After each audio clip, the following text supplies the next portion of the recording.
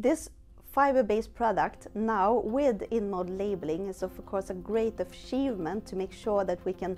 highlight the product that is inside the packaging better and also something that the consumer is already used to since you have worked with this in the plastic industry for a long time. It highlights also the possibility of uh, the fiber-based product to make sure that we truly can have the same value as you have in packaging today but with a sustainable alternative of the material.